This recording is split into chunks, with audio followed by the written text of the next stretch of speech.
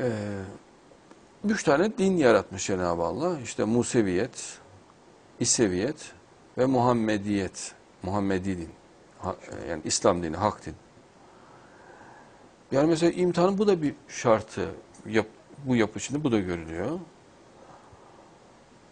İncil yani samimi olarak söylüyorum bakar bakmaz yani tahrif olduğu anlaşılıyor. Ya bir kere teslis inancı olmazsa ya bir insana Allah denmesi yani çok büyük bir zulüm.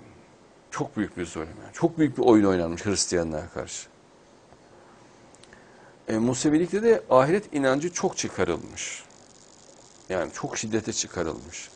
Ya Buna rağmen kalmış biraz ama çok çıkarılmış. Değiştirilmiş mi hocam kitaplar?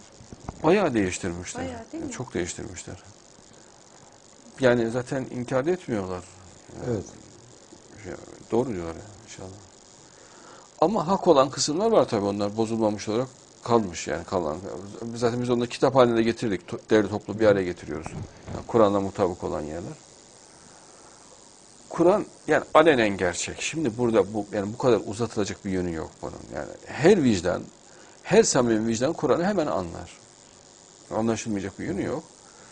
Ve çok büyük bir nimet. Allah'a çok şükür. Mesela bak ahireti biz bilemeyecektik ve detaylarını bilmeyecektik. Bak Tevrat'a göre bilmeyecektik. İncil'de de çok az var ahiretin detayları. Çok az yani çok flu izahlar var. Kur'an son derece sıhhatli, düzgün, gayet güzel anlatmış Cenab-ı Allah Kur'an'da. Ee, yani bir kere Allah'ın varlığı ve Kur'an çok net. Yani o konuda yani insanların bir bocalamaya gireceği gibi değil.